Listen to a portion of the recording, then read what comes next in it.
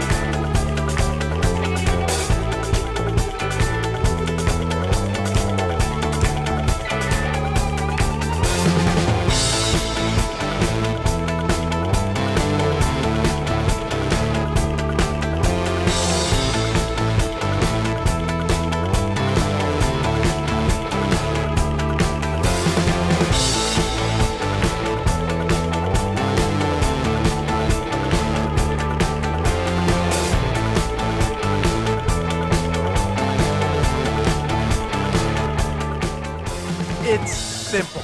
You jump in the water through the ice. That's it. It's so much fun. It's just makes no sense and it's just a lot of fun. Yeah!